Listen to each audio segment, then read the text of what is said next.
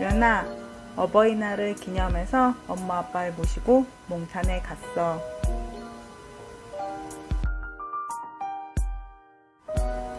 삼각지역에 있는 식당이야. 양념갈비집이지.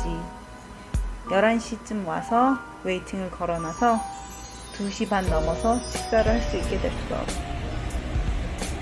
2시 이후에 온 사람들은 waiting에 이름을 적지도 못했어. 입구에 들어가면 고기 향이 아주 끝내줘. 바로 고기를 굽고 있거든. 그리고 이 집이 특별한 점이 짚으로 구웠다는 거야. 이곳에서 1차로 굽고 그리고 그 구운 거를 식당, 식탁으로 가져가서 두 번 굽지.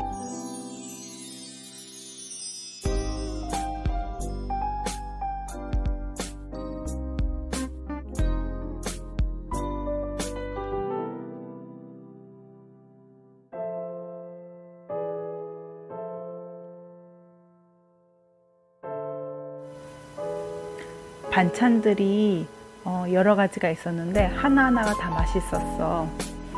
그리고 앞에서 고기를 구워 주시는데 향이 너무너무 좋았지. 앞에서 직접 고기를 뼈대를 잘라 주시고 그 앞에서 구워 주셔서 우리가 직접 고기를 구울 필요가 없어서 그건 매우 편했어. 한 6시 정도 가서 먹으려면 한 1시 정도 가서 대기를 걸어놔야 돼요.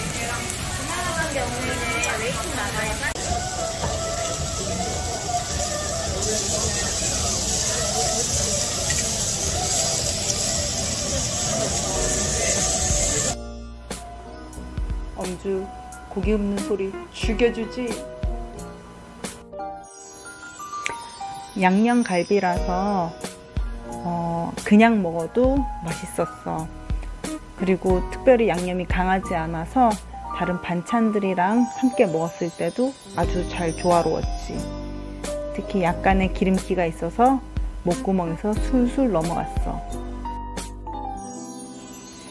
처음 주문할 때는 4인분 시켰는데 모자랐지.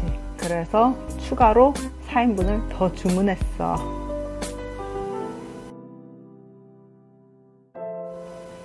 8인분, 8인분을 먹고 끝이라고 생각했을 때 끝이 아니었어.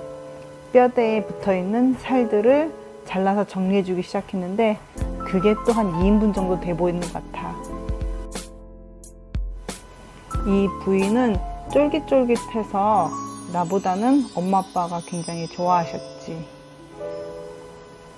거의 10인분 이상을 먹은 것 같아.